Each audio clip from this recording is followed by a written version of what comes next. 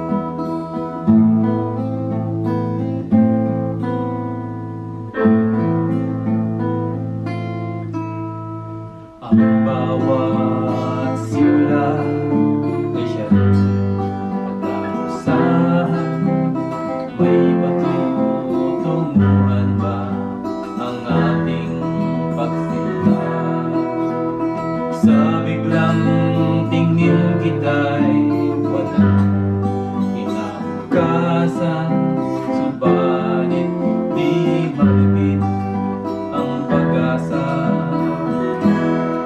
Ang pag-ibig